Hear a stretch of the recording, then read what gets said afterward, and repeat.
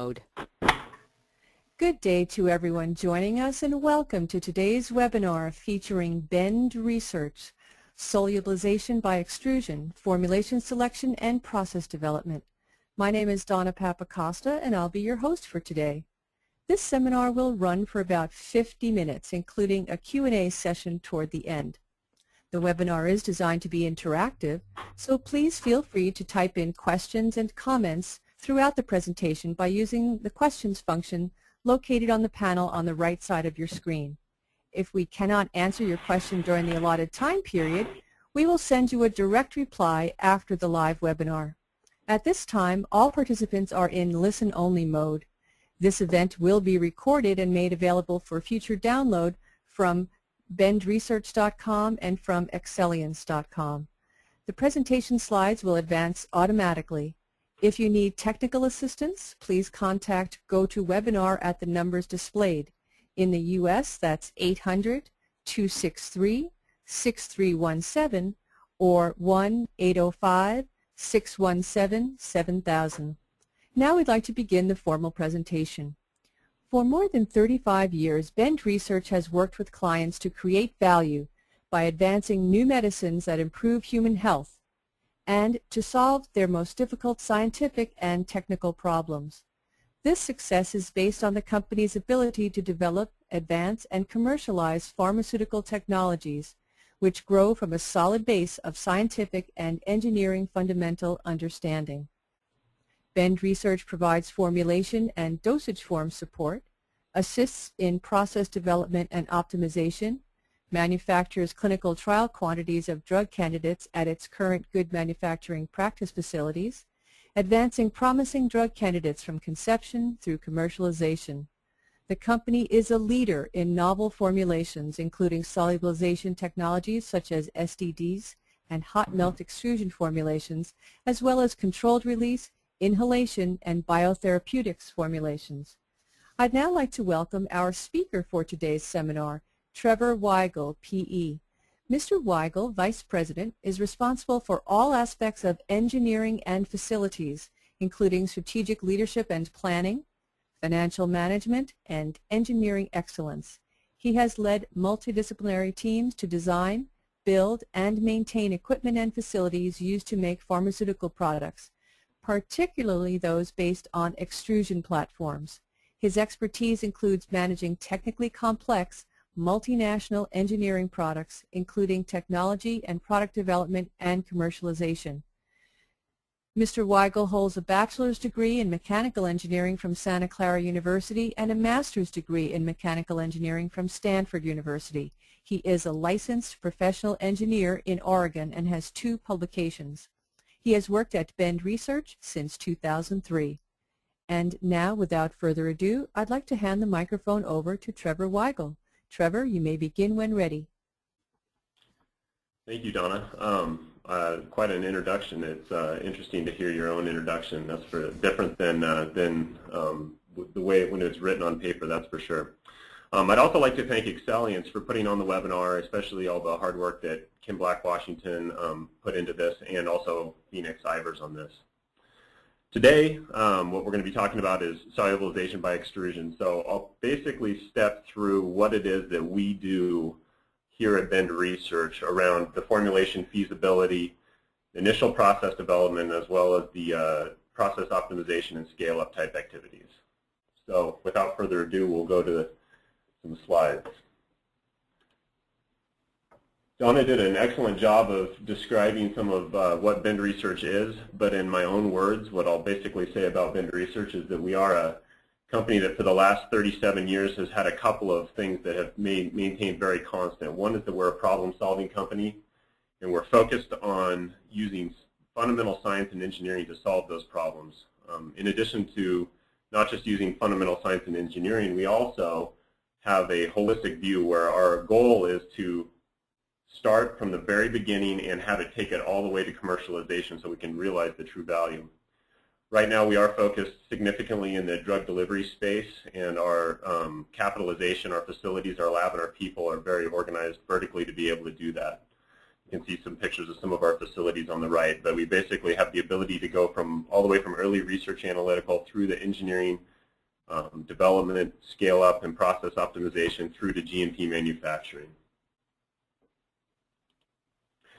So why are we interested in hot melt extrusion as a technology and why are we talking about it? The primary driver is that the industry as a whole is shifting from where previously molecules had very good solubility in a lot of crystalline morphologies. Um, it's moving more towards BCS class 2 type compounds where solubility is a concern. And once solubility becomes a concern, you have to find a solution for that, usually with some sort of technology, drug delivery technology. There's a list on the right there of several different drug delivery technologies, whether it's amorphous systems, nanocrystal, lipids, and there's many others than that also.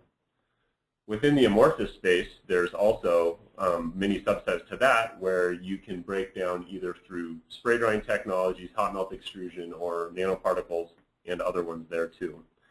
Today we're going to talk specifically about the hot melt extrusion amorphous systems and, and the work that's going into that area. There is commercial precedence for hot melt extrusion. The, you know, some of the best known ones are ones like Kaletra um, uh, from, from Abbott, but there, there are more than that also. So with a little bit of background for before we jump right into the technical details of how we do process formulation and process development and Bend Research, I wanted to do a little background on how we break down problems at Bend Research so some of the lingo that I'm going to use during the presentation makes some sense. Basically, when it comes to pharmaceutical drug delivery, when we break our problem down and really look at it fundamentally from a science and engineering point of view, we try and balance performance manufacturing stability across any of the individual areas that we're looking at.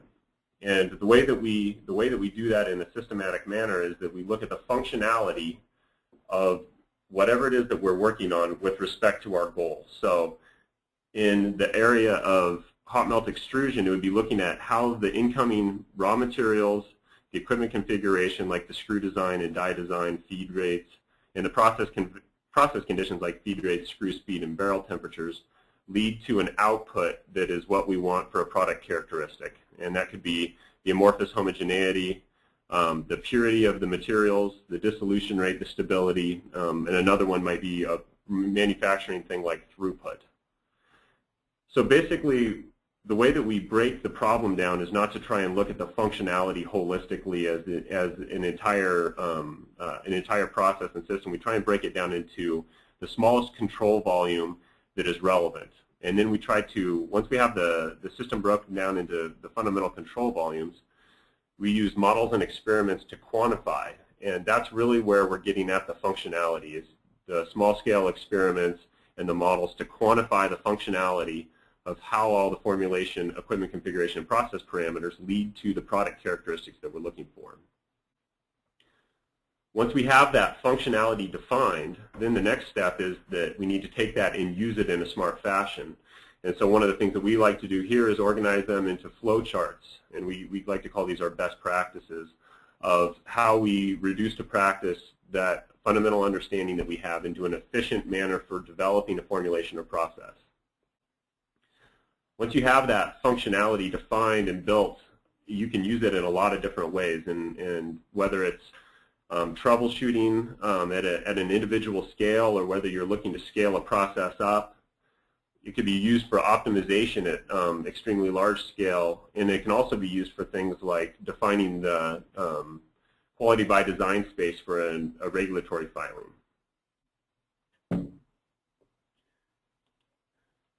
So today, in addition to um, talking about extrusion, I'm going to narrow the, the scope a little bit further to just talking about the extruder.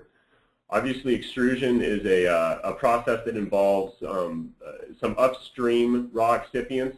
The diagram I have here shows blending the raw excipients and then feeding with a single gravimetric feeder into an extruder, onto a calendering equipment, and then finally to a mill. And each of these individual components, um, there's different options and configurations that you can do, and we could give an entire talk on gravimetric feeding or pelletizing and cooling. Um, but for today, we're just going to focus on the extrusion portion of it.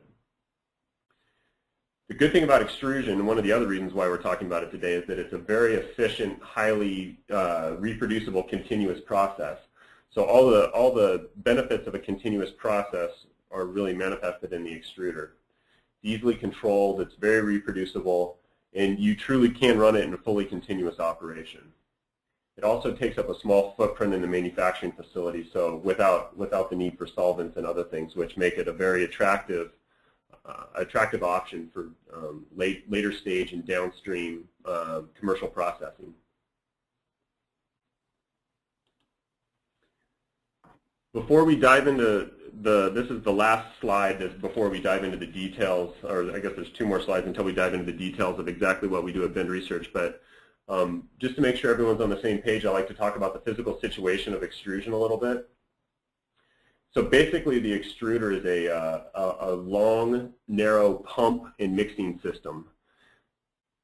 With respect to the mixing, it does two different types of mixing. It does distributive and dispersive mixing.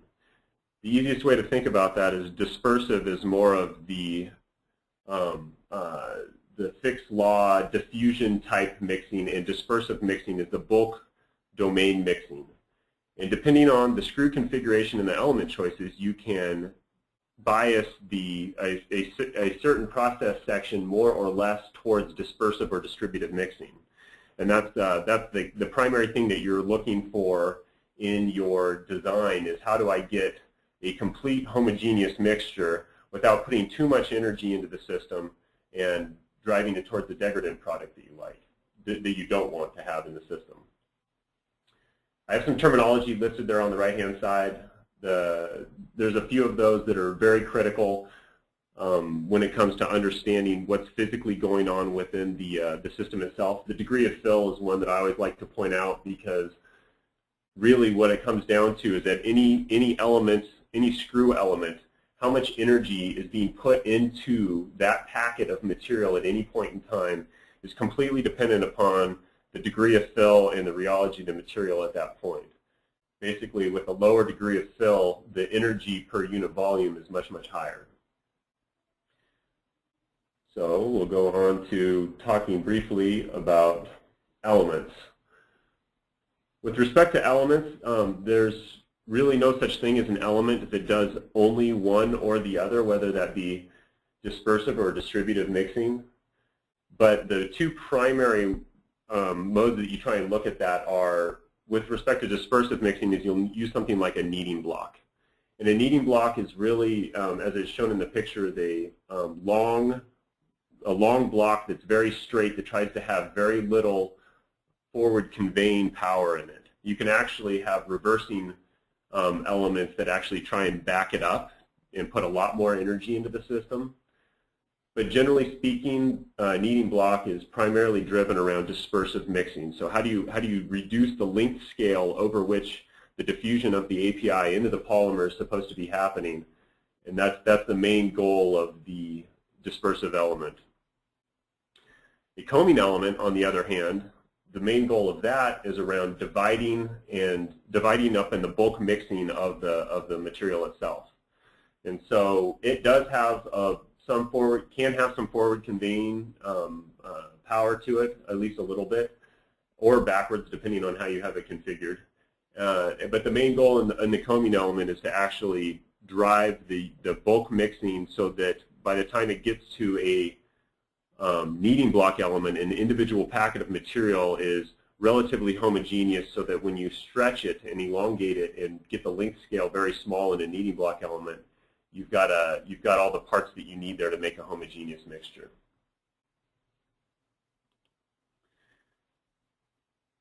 So this slide is basically, this is our process development flowchart. This captures everything that we do holistically during our initial feasibility all the way through to scale up in, in one single slide. I'll use this to drive the presentation and bounce back to this every once in a while to sort of show where we are in the process and, and talk about what the next steps are. The first thing that we're going to talk about is going to be the initial formulation feasibility. The way that we look at amorphous formulation feasibility is actually independent of the, the path that it's being, that it goes downstream. So if, if it's going to be a spray drying process or a hot melt extrusion process, we basically do the same initial feasibility work to determine whether or not an amorphous um, formulation is, is relevant. There's a couple of caveats that we add in there, like we might choose some different polymers that we wouldn't if the we know that the desire is to move it towards a hot melt extrusion process. Um, but generally speaking, uh, we treat the amorphous dispersion as an independent decision that needs to be made whether it's um, a hot melt extrusion process or not. With respect to the initial feasibility work that goes on, the way that we do that is that we use the understanding of the physiochemical properties of the API, and we, with that, we make some educated choices around polymer selection. And with the, the right array of polymers, then you look at the, this plot here on the left basically drives what sort of loading you would expect to see and why you would want to drive the polymer loading in a certain direction. So the short story there is that if it's got a higher propensity for crystallization, which would be um, reducing its physical stability on the left-hand axis, or whether it's going to be um, a very greasy compound and a dissolution rate limited molecule would be further out to the right. And this is, so basically with the physiochemical properties we make some polymer selections and we choose some active loadings um, using this chart here. And then what we do is we do small scale spray drying to create amorphous dispersions with just a few milligrams of material. We take those, those selected few um, that we believe will have a good chance of giving us the performance we want, and we do in vitro characterization of those everything from dissolution to um, DSC and PXRD. So we're basically looking at both its dissolution performance as well as accelerated stability performance. Again, trying to, the goal being to make sure that we're balancing our performance, manufacturability, and stability. Once we have um, uh, initial formulations selected out of there that look like they're going to give us the appropriate dissolution rate as well as the physical stability we're looking for, we then move on to predicting the bioavailability. We have some um, in silico biomodels that we use to predict the species and the, how those species will perform in vivo. So once, once we have that process done, we now have um, some initial formulation selections. When it comes to hot melt extrusion, there's additional work to do uh, because there, there's additional constraints that are put on the operating space with respect to hot melt extrusion. So we'll go and investigate that as the next step. So one of the things that you have to look at with respect to hot melt extrusion is the, the stability and the ability for the polymer and API to mix and get into uh, a complete liquid amorphous dispersion. And so at process conditions, you have to force, what we have here is a picture of a phase diagram of our polymer and our API. And basically, at the process condition, you have to be outside um, of the phase diagram for sure.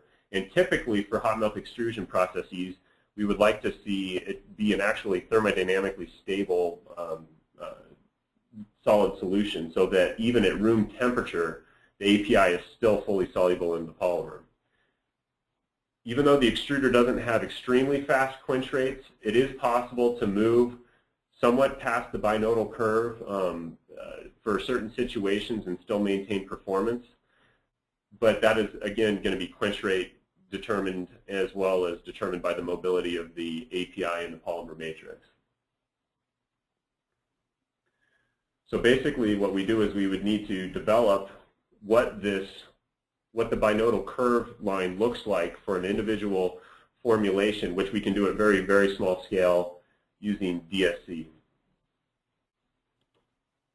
And the goal of the work that we would be doing around trying to define where are, what these boundaries are for the extruder is to come up with an operating space.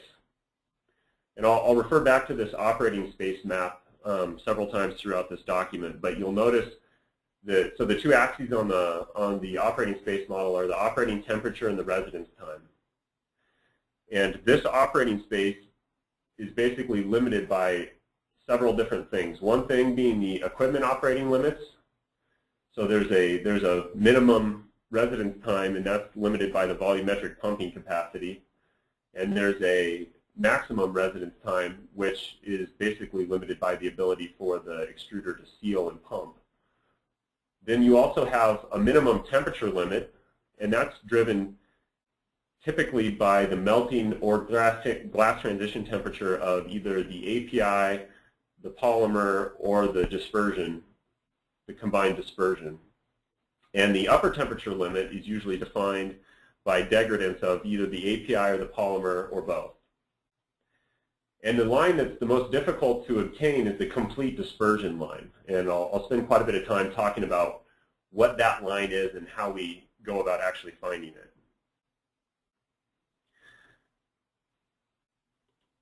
So the residence time is a key parameter in the extruder, as you can tell. So we, um, up to now, throughout this entire process, we have not used an extruder at all.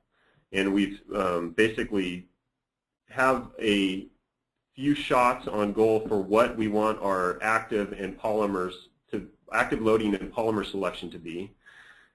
And so now when we move to extruder, this first shot with an extruder is actually, again, with only placebo. So no active will go into the extruder at this point. And what we'll do is we'll map out what the residence time distribution is for different configurations of the extruder. Now I'm, I'm showing the output here for a specific for you know a specific specific con screw configuration without any manufacturing aids, um, whether they be surfactants or uh, TPGS or any of those types of things. And so this is this is a very simplistic um, version of what what you might have to do to really understand the residence time distributions for um, the, the actual formulations you have of interest. But basically, though, we still try, without using any active, to get a good understanding of what the process conditions. We know from the process map before where sort of where the bounds are in residence time for heat degradation and those sorts of things. And now what we need to do is translate that into actual process conditions and configurations onto the extruder. And that's what we do with these residence time studies so that we get an understanding for how feed rate, screw configuration, and screw speed and barrel temperature all feed into deriving that um, temperature history that will give us the residence time distribution and, and uh, temperature history that we're looking for. So next I have a, a, brief example of the type of actually developing the initial map and, and how we would go about using that. So this is an example that we did of using um, commercially available fenofibrate uh, where basically what we did is we did a couple of experiments, many experiments, where we did, um, in, in DSC pans, we did the phase diagram first so that we could find out where the binodal spectrum is. And in this case, it turned out that somewhere around 20 to 25 percent is sort of the limit that you would expect to be able to see in an extrudate uh, and still maintain thermodynamic stability. And we also did the TG versus um, active concentration so that we could then predict what our minimum operating temperatures would be. So on the next slide, this is basically the output of that work, and this would be the initial, the initial processing space map that we would come up with. So we have two active loadings here, one on the left, one on the right. Um, and you'll notice that the polymer degradation temperature, what we did there was we used the conservative approach was make it a flat line at the temperature at which you see degradation over a time period that is relevant for the extruder. And the minimum on the on the left-hand side, the minimum temperature for processing is driven actually by the TG of the dispersion, and on the right-hand side, it's driven by the um, the TG of the polymer. So now we have a high and a low bounds, and we have a high, a high and a low bounds on temperature and a high and a low bounds on mean residence time. So the one piece that's obviously missing from that is the complete dispersion line. So the complete dispersion line is the piece that we currently need to find experimentally. And so now we've got a rough operating space and now what we need to do is find out exactly where that complete dispersion line, because the thing that drives the complete dispersion line is a function of the kinetic solubility of the API in the polymer as well as the physical situation of the mixing in the actual extruders. So that is completely dependent upon your operating conditions, whether it's throughput, screw speed, um, kneading block design, temperatures, those types of things. So our goal ultimately is to end up with this complete operating map, and, and we'll show you how we step through figuring out the, the complete dispersion line. So now that now, now at this point we've used just a few milligrams of material, we've got two formulations that we're wanting to try on the extruder, and we take that and we actually do some initial production runs on the extruder. So with respect to what we do with respect to the initial configuration is that we basically walk in with a map where we don't know that complete dispersion line. And so our goal is, is to make that operating space as wide as possible. To enable that, we actually start with a relatively aggressive screw configuration. And that does, there's a couple of reasons why you would want to do that. One is to have a generally wide operating space. And when I say relatively aggressive, um, I'm meaning quite a bit of kneading block, quite a bit of pressure, but not going all the way to, say, reversing elements and those types of things that really um, significantly increase the pressure. But we definitely don't start on the easy side and then work up. We try and start relatively aggressive. Um, that way, that way we're putting enough energy in to get an amorphous dispersion. The second reason that you want to start with an aggressive screw configuration is that if you are using your elements to actually create the melt rather than relying on barrel and wall temperature, you end up with a much more scalable design. And the reason for that is that the shear rate and the, the shear history within the extruder is something that is scalable, whereas the surface area to volume is not. And so if you're relying significantly on barrel heating to create the melt, um, it ends up it ends up being something that you have to deal with as you scale. So once we have our initial screw configuration and our initial formulations and our processing space, we pick some processing conditions and start to probe where that line of complete dispersion is. And our goal is, is to find a robust space that's in the operating space um, where we have a lot of room to move around and find a molecular dispersion. That's where that's where the initial um, that's where extrusion is actually a really great process because of the fact that it's continuous. You can rapidly test out several different configurations um, with, without having to do complete startups and shutdowns as independent runs. And so we'll, we'll test out, we'll do a, a set of experiments around the operating space to try and understand where that complete dispersion line is.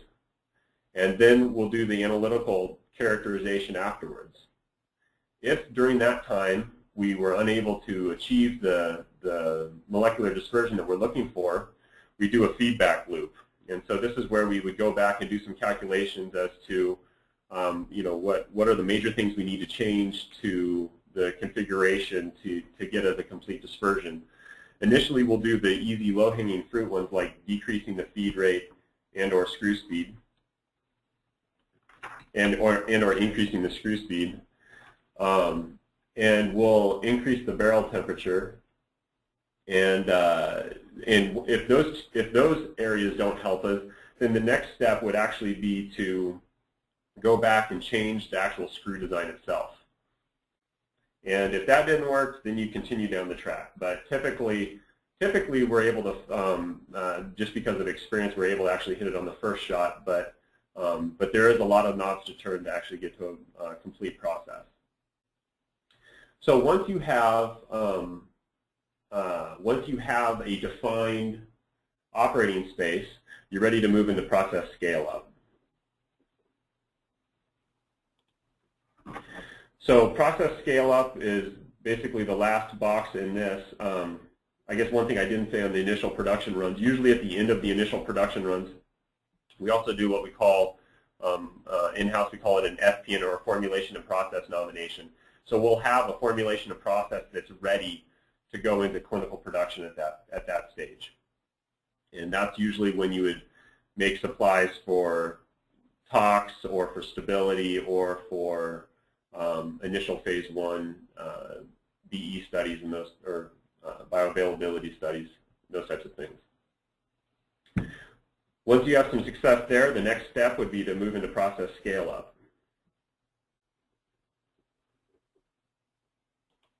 So for process scale up, there's um, some very nice things about screw machinery that make this um, a, a, very nice process. And so the, the main thing, if you do, if you look at the power that you put into the system and the ability of the system to generate pressure, similarity theory works very well.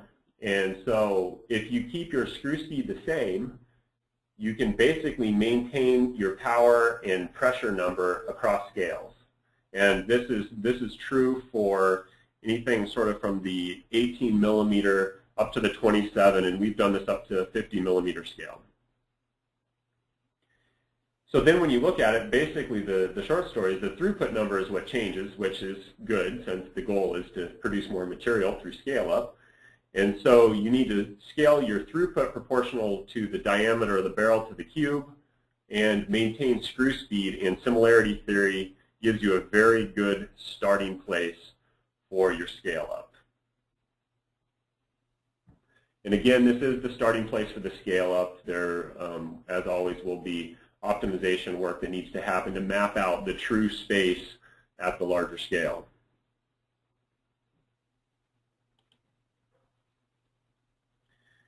Here's a couple of scale comparisons. Um, the, the short story here is that the, um, all of the extruder design companies, such as Leistritz in this example, have done a very nice job of making units that are scalable. And so scaling from the micro 18 to the, the 27 is, is um, the similarity theory does hold true.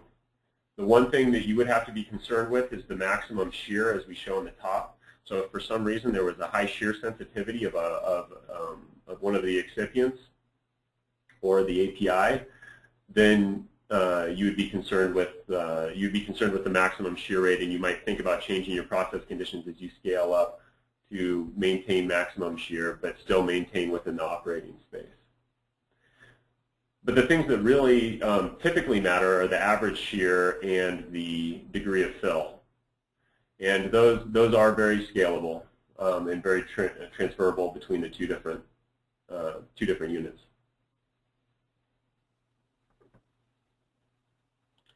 So really the next steps for Bend Research on this are to get a better quantified understanding at a small scale how to define the complete dispersion line. And so a couple of the ways that we're looking at that are both through using either a model or a um, uh, or an experimental system at a very small scale to define and a, and a good understanding for how that small scale translates to the larger scale in a way that allows us to predict the, the larger scale um, operation.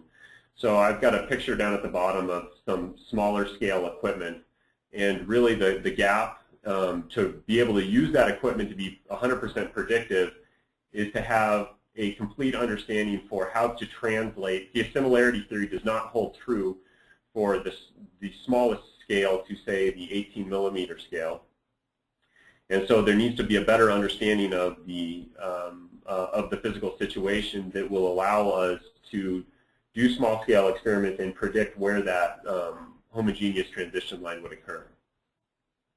And so once you once you once you're able to do that at the small scale and then predict the 18 millimeter scale, then the next, the next goal is to make sure that as you scale up, you have better predictive understanding of what does change at the larger scale.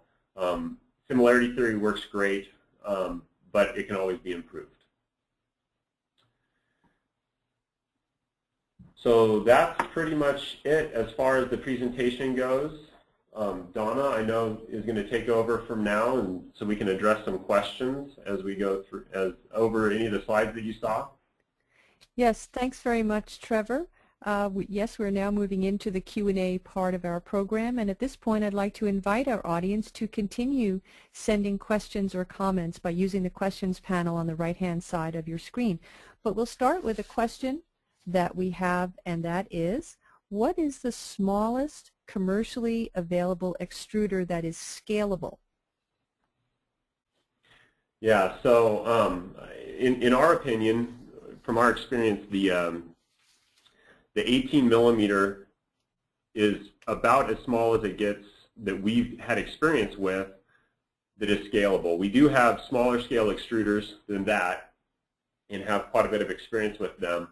Um, but as far as being able to use similarity theory as you're, as you're scaling um, your process for scaling the, the equipment, the 18 millimeter is about as small as, um, as is relevant. Okay, and here's another question for you, Trevor. Can you use CFD to model the extruder? Um, it has been done, uh, and really if you think about the, the physical situation within the extruder and the way that CFD works, there's a complicated um, volume of fill interface, air um, interface, as well as the complicated rheology of moving from a powder to a liquid um, or a melt is uh, is it, it's not in our experience it has not been very predictive as of yet. Um, that doesn't mean that in the future it won't be, but right now it has not been able to predict the the rheology or the um, the uh, degree of fill to a adequate form that will allow it to be predictive of shear rate and temperature histories of the packet as it moves through the extruder. Okay. And another question, what CTM manufacturing capabilities does Bend Research have? Um, so with respect specifically to extrusion, we can do um, any sort of extrudate, whether it be from a 18 up through a 27 millimeter extruder in our GMP facility, as well as all of the ancillary um, equipment that it takes to take that extrudate, mill it, turn it into a tablet, coat it, and um, small scale packaging. Outside of hot melt extrusion, we also do a lot of other drug product intermediates like spray drying, fluid bed processing, um, melt spray congeal, those types of things. Okay. And another question is, what is the quench rate from an extruder? So the, the quench rate from an extruder is typically on the order of minutes.